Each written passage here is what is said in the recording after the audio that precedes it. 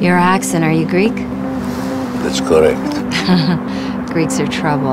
Only for pretty women. I would like you to meet our visionary CEO, Van Vlahakis. Being Greek, we have a tremendous background that most people don't have. We have a 3,000 year history, and he gave us uh, a tremendous beginning that we could use no place, no matter where in the world we go. Being Greek is a big ad, is a big advantage, and so it makes us uh, more able to adjust and become successful in any society. Thank God, because God gave me the facility to have for accents and a good ear. But what was difficult about this, and it was, and it really posed a challenge, not just because it was a Greek accent, but I also had to incorporate a Chicago accent along with the Greek accent and marry them together so that I can make the accent like Van has now. This is Ecos, our number one selling laundry detergent. It is 100% natural. And of course, I want to ask you, how does it feel like to, to be portrayed by Shannon Elizabeth, you know? Oh, there couldn't be a greater feeling. She is stunningly beautiful. I couldn't be more lucky to have been have her play me. I certainly uh, have a lot of work to do on my personal self so I can be like her. But she's absolutely, and she's a beautiful person inside too. I felt really fortunate to have an actress play me who really believes in the green movement and lives her life that way. Kelly was watching the rehearsal of the scene and she came and told the director, you know, I would say it a little bit differently, and so she wanted to rearrange the lines a little bit. And so she and the director and I went in the back and I said, okay, I'm going to film you and I want you to say it as you would say it. So she gives a speech, she changes a few of the lines and says it the way that's natural for her. And then she left, and I studied it for a little bit. And we made the lines exactly how she wanted it. And uh, I did a lot to try to match like her hand gestures and the way she spoke and her intonations. And I, my main goal was to honor her and make her proud of me trying to represent her. So I wanted it exact for her. Everybody loves this guy. We can't get to his people. It is my greatest hope that we come to realize that green is vital and the survival of our planet. Work has always driven me, even when I was young. What, what does it drive you now, at this stage of your life? Again, the pleasure of being able to work, of being healthy, and being able to do things uh, good for our people, uh, our employees, my family, and the people that we service in uh, as customers.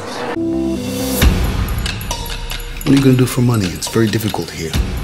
I didn't come to America expecting for it to be easy. I'm looking for a job. It's hard for a chemist to find a job. I'm looking for the right job. Well, I lived through the German occupation in Greece, and we made it with very little money. So money is not really that main reason I have the business. It is a way for me to uh, do things I want to do, which is in this case creating products that are good for people and the environment. Uh, profit is not my most important factor, though you do need some profit. The most important thing is that you do whatever you think is the right thing to do. Do you expect me to approve chemicals that are bad for our customers? The biggest challenges are usually solved by the simplest solutions. I just added some water to dilute the starch. It kept the remaining properties, so it still works. I'm afraid the outlook isn't good. The tumor's grown too large. There's nothing you can do. I recommend you get a second opinion. You're my fourth opinion. They, they thought uh, four different doctors that I had a major tumor, probably carcinogenic, that eventually would take away my life.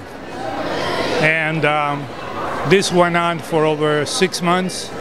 But finally, uh, a young doctor from Iran had different opinions and uh, sent me to a specialist who knew about infections.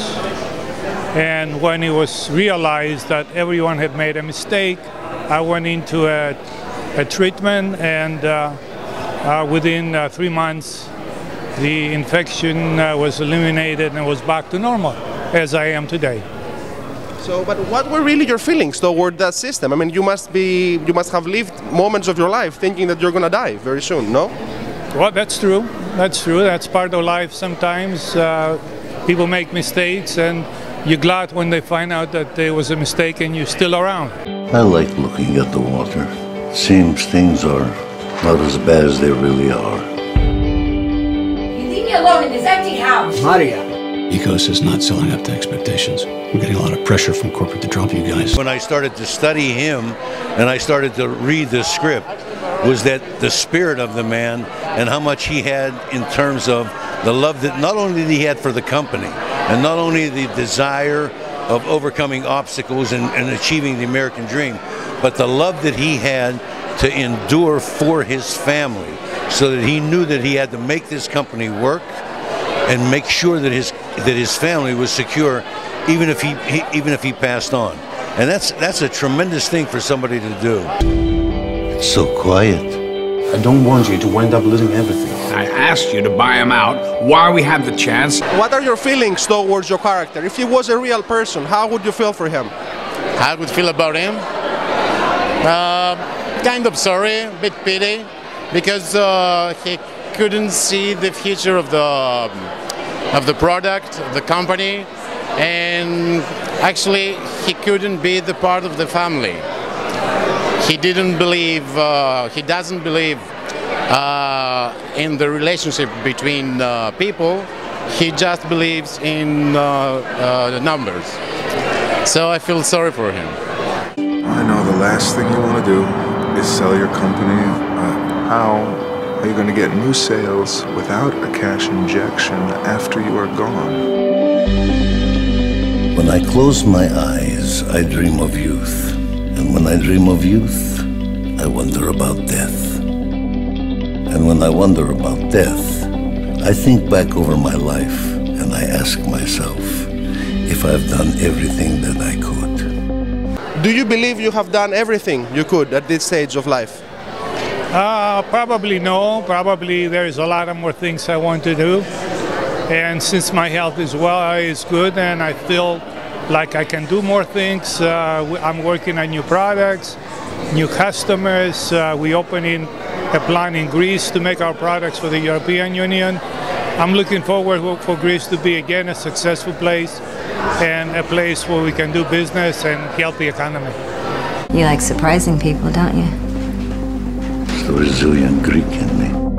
Before I started writing and directing the movie, I, uh, I knew Van and Kelly Vlahakis through family for about three or four years. So I had always heard Van's story. What was the reaction of the real life Van when you told him, hey, do you know what? Actually, I didn't come for dinner tonight. I came to present you a script I wrote for you. Well, the way Van uh, is, he's like, I don't think that's a good idea. I think there's so many other stories that you can tell. You know, you think my life is that exciting?